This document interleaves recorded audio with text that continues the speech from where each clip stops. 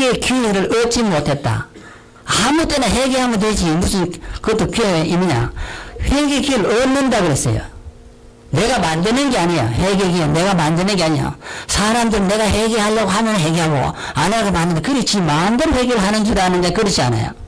회개 기회는 하나님이 주실 때 내가 얻는 거 이거나 내가 만드는 게 아니라 말. 만드는 것이 아니고 얻는 것이기 때문에 얻는 것은 줄 때 받아야지 내가 만드는 건 내 마음대로 하지 않는 얻는 그렇게 얻는 게 아니에요. 줄 때 받아야 돼. 그 애써는 회개 기회를 줬는데도 그것을 얻지 못했다. 기회가 아, 지나갔다. 그 말이에요. 아, 이는 악한 길에서 돌아서고 불의한 생각을 버리라. 이거 회개도 그래서 기회가 있다는 거예요. 여러분 회개도 오래되어 버리면 만세기 회개할 생각도 안 나는 거예요. 잊어버려 죄도. 오늘 지은 죄는 저녁에 잠을 자기 전에 빨리 기억하고 회개를 해야지 오래 지난 뭐 10년 전에 제가 여러분 기억이 납니까? 안 나요. too late이야. 아, 무릇 경건한 자는 주를 만날 기회를 타서 죽게 기도할지라. 경건한 자는 그래서 항상 어, 기도도 때가 있다. 경건하게 살아가려고 하는 사람은 기도의 때를 놓치지 말고 기도해야 된다. 항상 기도하는 사람은 진실로 홍수가 범람할지라도 저에게 미치지 못한다. 10편 30편 6절에 기록했는데 노아처럼 노아는 당대 가장 경건한 사람이었어. 경건한 사람은 항상 아, 기도하는 사람. 말은 경건한데 경건은 모양은 이제 능력이 없는 사람 왜 그럴까요? 기도하지 않기 때문에 그렇잖아요. 노아는 항상 경건하고 기도했기 때문에 홍수가 범람할 때에 멸망하지 않았다는 성경대로 어, 구원의 축복을 받지 않습니까? 인류가 아담 이후에 많이 번성되고 다 죽고 난 다음에 그 다음에는 노아의 자손을 통해서 인류는 다시 오늘처럼 이렇게 수십억으로 불어났지 않아요. 인류는 조상이 하나거든요. 우리는 뭐 흑인이라고 굉장히 무시하고 어, 멸시할 있는데 흑인도 우리 조상 한 조상 아래 태어난 사람 백인이라고 우월할 거 하나도 없어요. 백인도 다 한 조상이에요. 하나님은 한 혈통으로 한 조상 아래 인류를 번성케 시켰다는 거 성경적이잖아요. 가까이 계실 때 그에 물어라. 성경말은. 아, 우리가 죄를 짓는 것도 왜 그러냐. 때를 따라오고 경건하게 기도하지 못함으로 죄를 범하게 되는데요. 죄도 보면은 어, 기회를 타서 우리에게 범죄케 한다고 그랬어요. 마귀가 항상 우리의 그 때를 잘 잡아가지고 우리를 유혹합니다. 사람이 타락하고 범죄하는 것을 보면은 때를 놓칠 때 고려되는 거예요. 마귀는 그 때를 잡는 거예요. 내가 신앙의 끈을 놓쳐버릴 때 마귀는 그 끈을 잡아서 나를 죄악으로 이끌어가는 거예요. 그래서 로마서 7장 8절에 보면 죄가 기회를 타서 계명으로 말하면 내 속에 강한 탐심을 이루었나니 이렇게 해요. 죄가 기회를 타서 나라에게 강한 탐심을 일으켜서 결국 범죄에 이르게 한다는. 그건 뭡니까? 사탄이 결국 그때를 내가 신앙의 줄을 놓치는 그때를 이용해가지고 범죄로 이끌어 간다는 얘기잖아요. 아, 그래서 우리는 기회가 있는 대로 갈라디아 5장 13절에 보면은 그 자유를 육체의 기회로 삼지 말고 오직 서로 종로로 하기를 힘써라. 기회가 많다고 해가지고 아 이제 먹고 놀 판이다.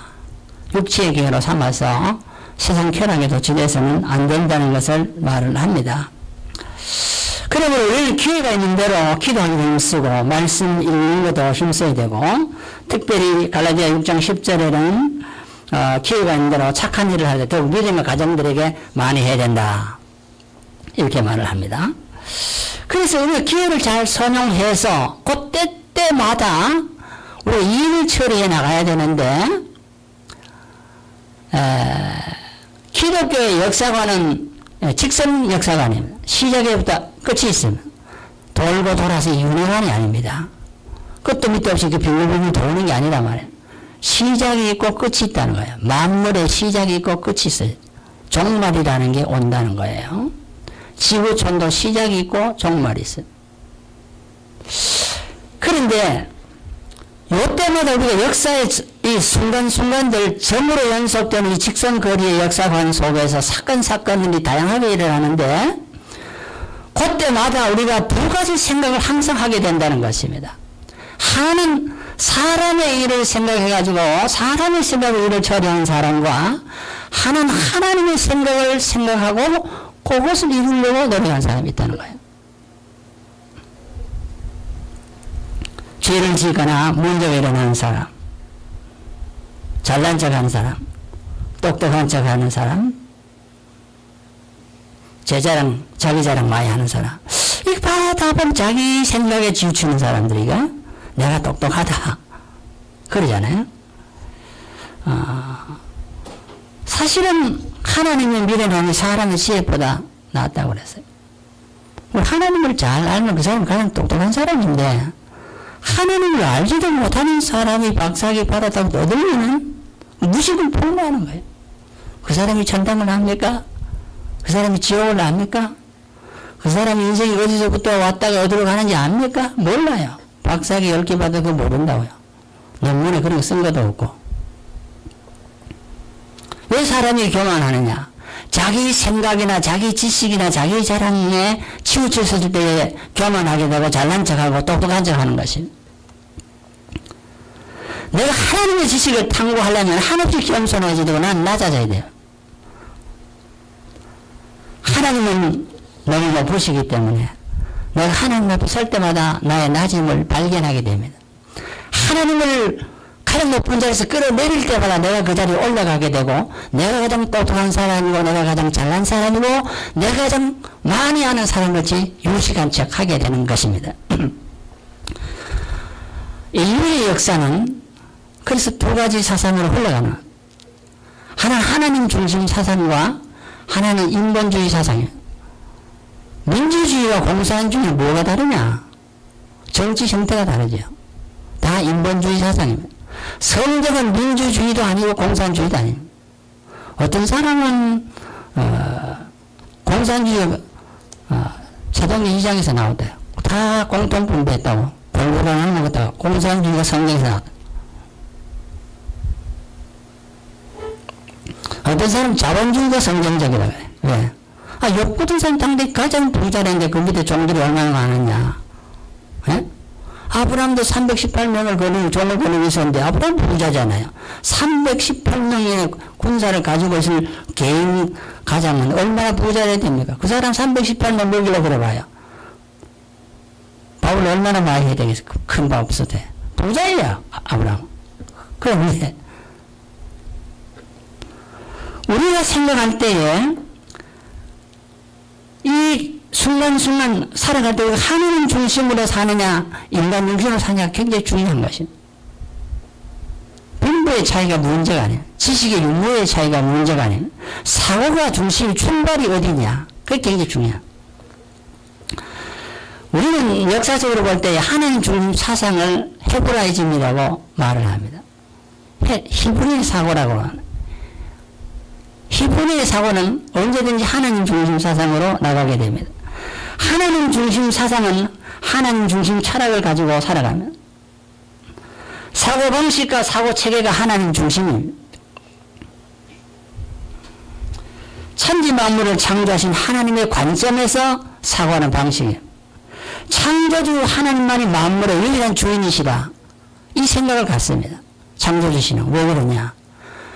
창조를 무에서 유를 창조하신 분 하나님이시잖아요. 만물의 주인은 하나님이신데 내가 사업을 해서 돈을 벌면 이게 내 것이다. 이 사업은 내 거다. 생각하는 사람이 창조신이 없기 때문에 그래. 부자라고 돈 벌고 내 마음대로 쓴다? 내 마음대로 사치하고 내 마음대로 차 타고 내 마음대로 집에 산다? 그왜 그래요? 창조신이 없이 만물의 주인이 하나님을 인정하지 않는 거예요. 인정하면 그렇게 살 수가 없죠.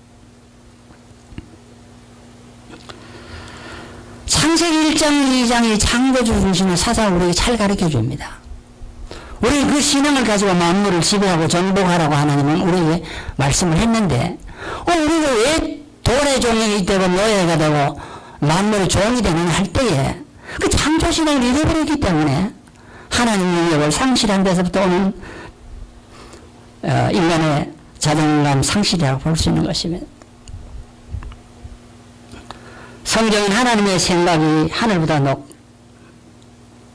오늘 본문을 보면 하늘이 땅보다 높음 같이 내 길이 내 일보다 높고 내 생각이 너희 생각보다 높다. 그래서 이게 크게 차이 나는 것을 보통 말할 때 천지 차이 난다 그래요. 하늘과 땅 차이라 그래요. 우리가 보이는 제일 높은 하늘이고 제일 따지잖아. 땅 밑에는 잘 보이도 않고. 그 천지 차이 난다 근데 뭐가 천지 차이가 나느냐. 대학 나와서 교수하는 사람하고 국민학사하고 천지 차이가 나는 게 아니고 종이 한 장 차이야. 박사학위 받은 사람과 안 받아서 얼마 차이나 종이 한 장 차이야. 별거 차이 없어요. 천지 차이 어디냐. 천지를 지신 하나님과 피조물 인간의 차이가 그 생각의 차이가 천지 차이인 것입니다. 예? 예. 하나님의 생각과 인간의 생각은 천지 차이다. 그래서 그 확실한 창조 신앙을 가진 사람은 절대로 자기 생각을 고집하지 않습니다. 하나님의 생각을 무엇이 깨달으려고 애를 써야죠. 하나님의 사상이라는 것은 하나님 중심 사상이라는 무엇을 보고 알 수 있냐? 성경을 통해서 그 성경 계시가 우리에게 주어졌어요. 또 하나님 중심 사상이 자연 계시를 통해서도 알 수가 있어요. 그러나 좀 어렵으시 하니까 사계절의 변화가 없는 것을 봐서 봄에서 해가 뜨고 뭐 소해진다 는 이런 뭐 자연의 현상을 봐서 봄이 되면 꽃이 피고 어, 겨울이 되면 그것도 나만 가시를 떨어지는 이런 모든 계절의 변화의 불변의 법칙을 봐서 하나님 불변하시는 우리가 알 수 있어요. 불변의 하나님. 자연의 법칙은 왜 불변하느냐? 하나님의 불변의 하나님이 만들어 놓을 때 불변하는 거예요. 사람이 어떻게 그런 법을 만들 수가 있어요? 과학자가 어떻게 그런 법을 만들 수가 있어요? 못 만들어요. 아, 그래서 하나님 중심 사상은 바로 만물의 주인이 하나님이시다.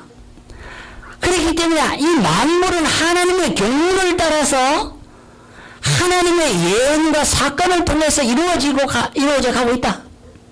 내 생각대로 되는 것은 하나도 없다. 그걸 믿어야 돼. 그래야 자기 생각을 고집하지 않게 되는 거예요. 여러분의 생각으로 되는 게 뭐가 있습니까?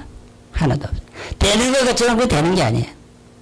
모든 것은 하나님의 뜻대로 우주는 경영되고 나가는 것이. 그 하나님의 섭리라고 그래, 그거를. 하나님의 경륜이라고 말하는. 하나님의 경륜을 믿는 사람은 하나님 중심 중심의 사고방식을 가지고 살아갑니다.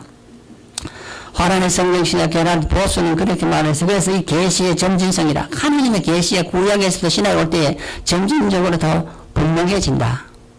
그리고 구약 성도들이 하나님을 더 어, 많이 깨달았겠어요? 은혜를 더 많이 받았겠어요? 율법 시대 사람이?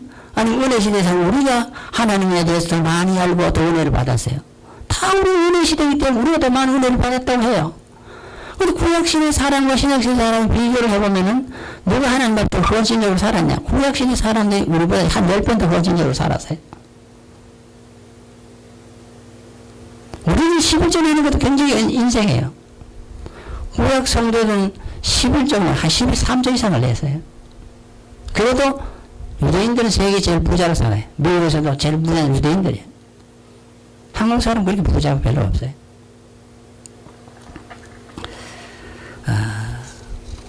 우리는 하나님 중심 사상으로 이 세계가 되어 아, 진행되어 가고 있다. 히브리 사고에서는 동일한 방향과 동일한 목표를 지향하는 어, 것이 한 일직선상에 있다고 생각을 하는 것입니다. 그래서 역사를 볼 때, 성경을 볼 때, 구속 사과를 보는 사람이 있습니다. 창세기부터 계시록까지 이게 전부 구속에 대해서 설명하고 있다. 구속적인 사관을 설명한 사람이고요. 히브리적인 사관은 그게 아니에요. 신국 사관으로 보는 것입니다. 하나님의 나라 확정으로 해나가는 것입니다. 아, 구속 사관은 창세기 3장부터 시작이 돼요. 인간이 타락하면서부터 구속 역사가 나옵니다. 신국 사관은 하나님 나라 것은 창세기 1장부터 시작을 합니다. 우리는 창세기 1장부터 시작해야 돼요. 창세기 1장부터 사회 시작은 1, 2장 타락이 없어요. 하나님 나라에는 동산이 있어요. 행복이 있어요. 기쁨이 있어요. 만족이 있어요. 은혜가 넘칩니다. 문제가 없습니다. 질병과 고통과 사망이 염려와 근심, 걱정이 다 없습니다. 그때라고. 그 하나님 중심으로 살아갈 때입니다. 인간이 하나님의 뜻을 떠나서 살아갈 때 비로소 그때부터 고통이 시작되고 죽음이 있고 문제가 발생하기 시작해요. 그래서 구원의 얘기가 나오는데 그 3장, 33장부터 나 그래서 성경을 이 하나님의 신관 중심으로 보느냐 아니면은 구속사적으로 보느냐 할 때는 전 어, 신관 중심으로 봐야 된다 봐요. 창세기 1장부터 봐야 된다. 1장, 2장 구속에 대한 얘기가 안 나와요. 아, 그런데 우리는 오늘 본문인들 하이 천리자의 생각을 가지고 살아가는데 자꾸 우리는 인본주의로 살아가려고 어렸습니다. 인본주의 사상이란 뭐냐? 이건 헬레니즘을 말하 헬레니즘. 모든 철학이 어디서 나왔냐? 헬라에서부터 시작해 헬라는 가장 우상을 많이 섬기는 나라입니다. 헬라의 고병을 가보면은 여행을 가보면 전부 신전들만 있으면 신전이 다 폐허된 것입니다. 우상 숭배자를 다 망했다는 징조로 우리에게 보여주고 있는 것이 바로 헬라 그리스 여행입니다. 인본주의가 극도로 어, 팽배하자고 그 나라가 문화의 꽃을 피워서 모든 세계가 로마 시대도 로마가 세계를 무료로 점령했지만 정신사상은 전 헬레니즘으로 바뀌었어요. 그 신약 성경도 헬레니즘으로 기록이 돼 사상 시대에 기록이 되었어요. 그래서 헬라어로 기록이 되었습니다. 구약은 히브리어로 기록되지만 신약은 헬라어로 기록이 되었어요. 왜? 헬라 문화가 당시에는 세계를 점령했기 때문에. 그 성경을 자세히 읽어보면은 당시에 교부들이 초대교회 교부들 사도들은 다 유대인들인데 교부들을 보면은 되게 헬라인들이 많으세요. 히, 히브리인들보다. 그래서 히브리인들이 가지고 있는 하나님 중심 사상보다는 헬라인들은 인본주의 사상을 많이 가지고 있었는데 개종해서 예수를 믿었기 때문에 신약 성경을 볼 때 의뢰받은 성도들은 이 헬레니즘을 헤브라이즘으로 바꾸기 위한 많은 성경이 에, 성경 기록이 나타나고 있습니다. 성경을 볼 때 아 왜 이렇게 썼느냐 할 때 오늘 이 시대에 그 신약 시대에 많은 사람들 헬레니즘의 영향을 많이 받고 있기 때문에 이 세상을 바꾸지 아니하고는 바른 신앙생활을 할수 없기 때문에 성경에 그렇게 많은 구절을 기록하고 있는 것입니다. 인간 중심의 사상은 미시적이고 폐쇄적입니다. 소경이 코끼리를 만지는 시기라고 말해요. 소경이 코끼리를 만질 때 다리를 만지면 기둥 같다 이렇게 말하고 배를 만져서 아 이거 뭐 불편한 무슨 벼락바지 뼈까지 생겼다 그렇게 구멍 콧구멍을 만진 사람이 무슨 동물 같다 그렇게 말할 거 아니에요. 다르다는 얘기예요.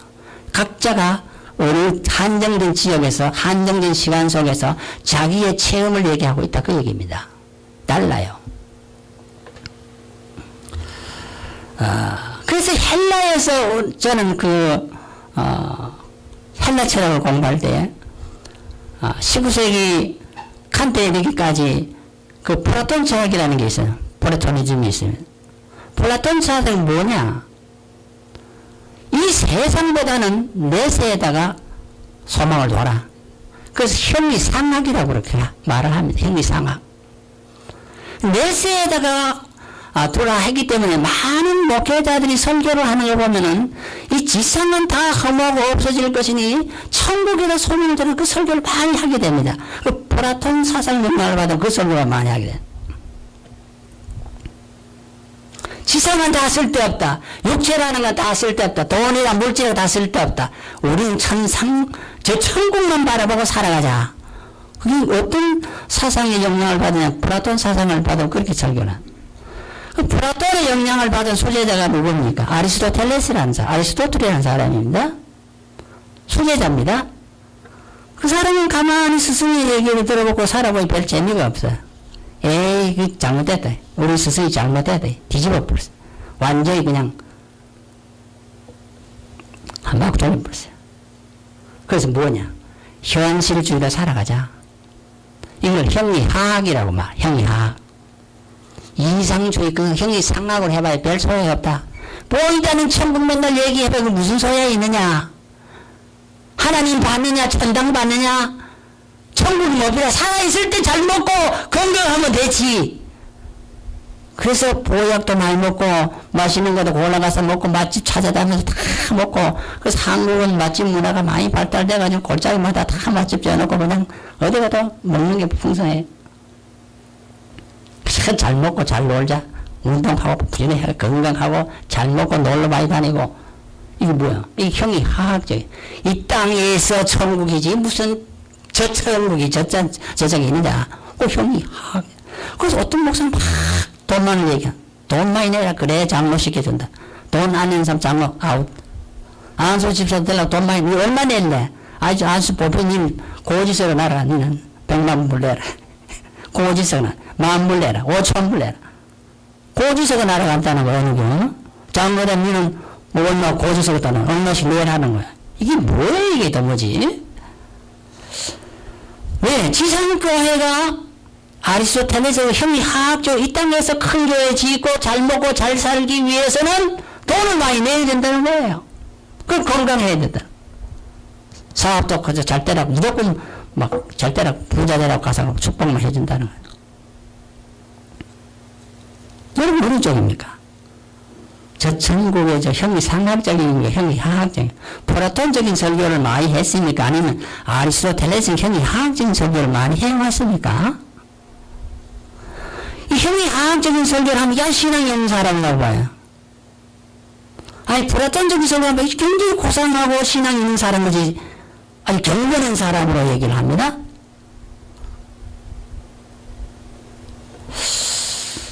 아, 오늘 우리는 하나님의 생각과 사람의 생각을 그래서 우리는 성경을 좀 잘 봐야 된다. 잘 봐야 된다.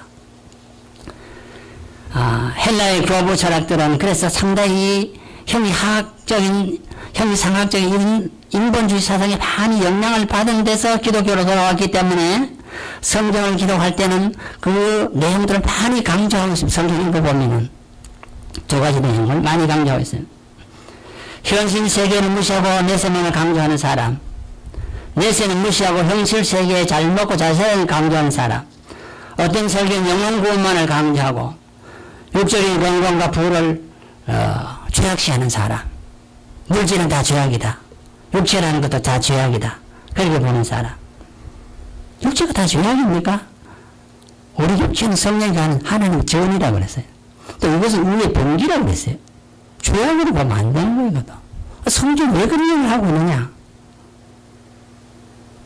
물질 계약설, 보편적인 사고를 차고 가지고 물질은 다 악한 것이다. 그렇게 보기 때문에 그렇습니다. 그래서 이런 사상을 가진 사람은요, 신약을 강의하고 구약을 무시하면, 구약은 필요 없다고 율법 시대가 것이잖냐. 지금 은혜 시대에 복음 시대인데 무슨 구약의 율법 설교를 자꾸 하느냐. 그런 얘기를 하죠. 물질 세계를 창조한 구약의 신은 영적 세계를 출발시킨 신약의 신보다 열등하다. 이런 얘기를 해요. 신이 열등하다. 구약의 신과 신약의 신이 다르다는 겁니다. 혈과 육의 근거를 둔 구약 성경은 혈과 육을 초월하는 신약 성경보다 뭐하다. 구약 성경이 신약보다 단계가 낮다는 거예요. 저질적이라는 거예요. 구약은 하나님은 전쟁의 신이고 신약이 하나님은 사랑의 신이다. 이렇게 얘기해요. 맞습니까? 찾는다는 거예요. 구약에도 율법이 있고 은혜가 있어요. 그래서 아브라함은 믿음으로 의로워졌다고 그러지 율법으로 의로워졌다 소리 하나도 안 했어요. 노아도 믿음으로 하나님의 은혜를 받아 그거 구원받았다 그랬지 율법을 자네가 그래서 할 말도 없다. 그런데 이상하게 사람들은 구약은 율법으로 자꾸 얘기를 하는 구약은 율법이기 때문에 이 시대에 필요 없다. 신앙만 잘 하면 된다. 그래서 신앙만 가지고 설교하고 구약을 무시하는 사람이 있습니다. 이 전부 인본주의 사상에 의한 어, 목회자의 현실이라는 것이죠. 구약은 하나님 전쟁만 합니까? 구원은 안 하고 시작은 예수님이 그러면 전쟁은 안 하고 사랑을 베풉니까? 엄청난 어, 형벌을 예고하는 것이 신앙입니다.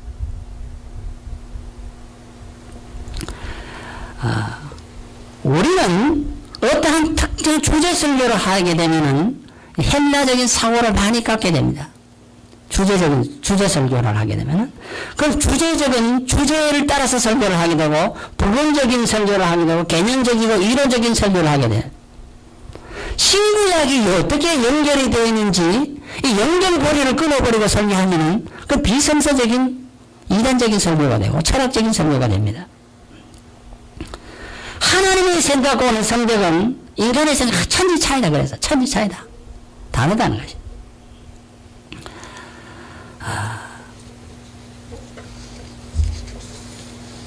한 예를 들어봅니다.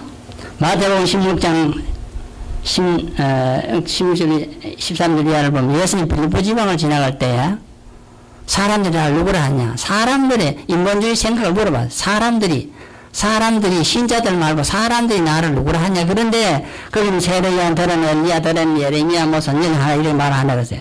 그 너희는 나를 누구라 하는데 시몬 베드로가 대답했죠. 저는 그러시듯이 살아계신 하나님 아들이다 이런 거예요. 그 베드로 생각입니까? 아니에요. 이는 내게 알게 하니 하늘에 계신 내 아버지니라. 예수님의 생각 그래. 이는 이걸 알게 하는 하늘에 계신 내 아버지니라. 이래가지고 하나님의 생각을 내가 얘기했다는 거예요.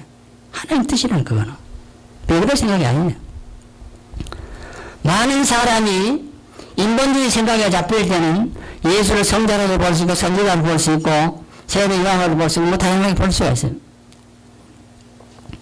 하나님의 생각으로 볼 때는 하나님이 주신 계시를 받으면 예수는 그러시고 하나님 아들이라는. 얼마나 차이가 납니까? 사람이냐 하나님이냐 그 차이입니다.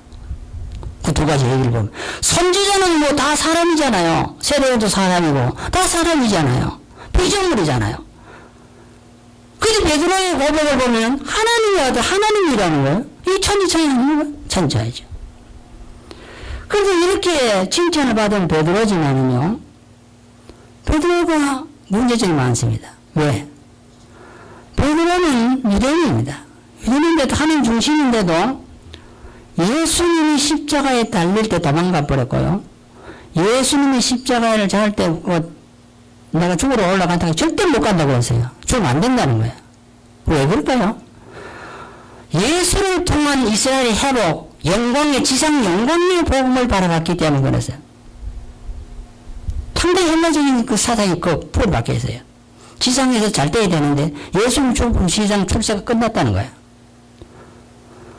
그래서 예수님께서는 그때 베드로에게 뭐라고 했느냐?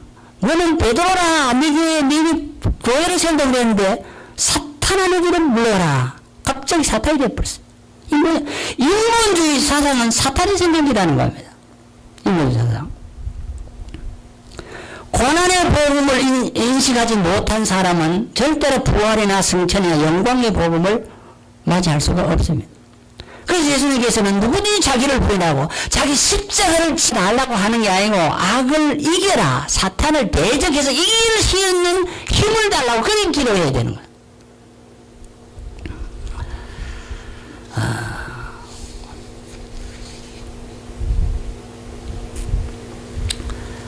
아나니아 사피라 사랑 5장 3절에 보면은 헌금 많이 했습니다. 땅 팔아가지고. 장로감이지요? 땅 팔아가지고 다 갖다 바쳤어.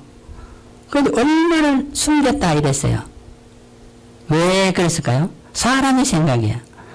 요 얼마나 숨겨도 당신하고 나만 알지 다른 사람 다 몰라 이거는 안 볼 때 숨겼으니까 땅 파는 거 봤나 숨기는 거 봤나 아무도 몰라 장동에서 사람의 생각이거든요.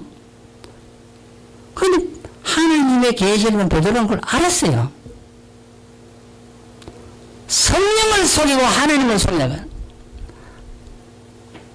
하나님의 생각대로 살아가는 건 정직하게 살아가는 것인데 땅에 있을 때도 지 거고 팔아도 지 건데 내고는 지 자인데 누가 뭐 강제 부고 내라 그랬어요.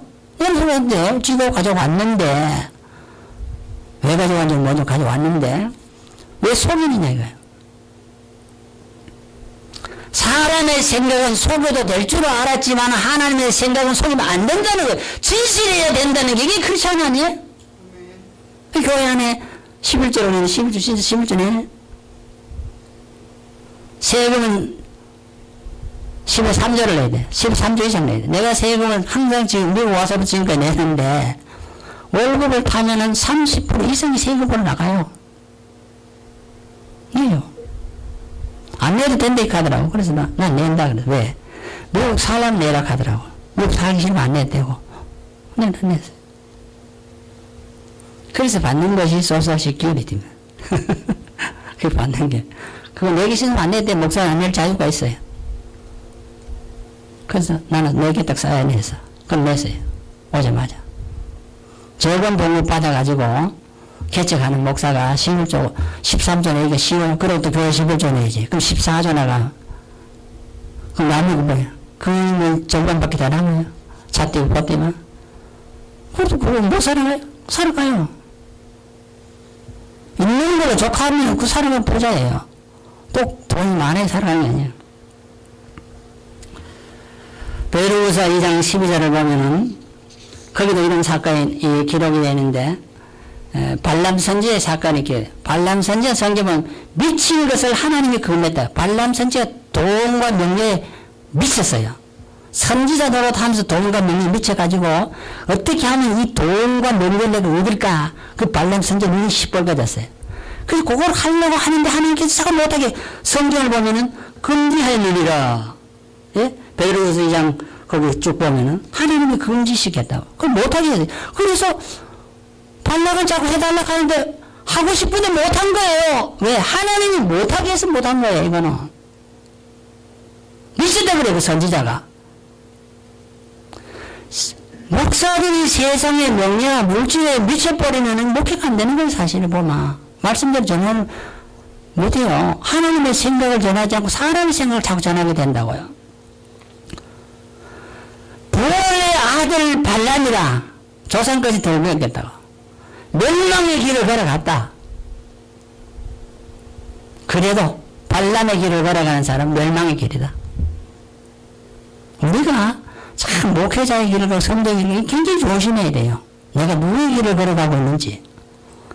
하나님의 생각을 따라 걸어가는지 사람이 잘 생각해봐요. 아, 우리는 제가 사실 설명 짧게 하려고 그러는데 그 짧게 해도 길겠는데 여러분 기도 제목이 그래요. 많은 기도 사실 필요하지만은요. 내가 사람의 생각대로 살지 않고 하나님의 생각대로 살아서 하나님을 기쁘시게 하는 삶을 살게 해달라. 그렇게 기도하면은요. 하나님의 뜻은 성경에 잘 기록되어 있으니까 성경 무조건 보게 되고요. 보기만 하는 것이 아니라 내가 성경 복독했으면 복독을 못해요. 순종을 안 하는데 즉각적으로 응답을 해서 순종 살아있는 실천력 있는 신앙생활을 해나가면은 뭘 하든지 하나님 축복해 주신다고. 예, 뭘 하든지. 에, 그런 기도를 해야 돼. 사람의 생각을 버리게 하시옵소서. 그러면 교만해지지 않고 겸손해지 자기 자랑하지 않습니다. 예수 자랑하고 십자가의 복음을 자랑하게 돼.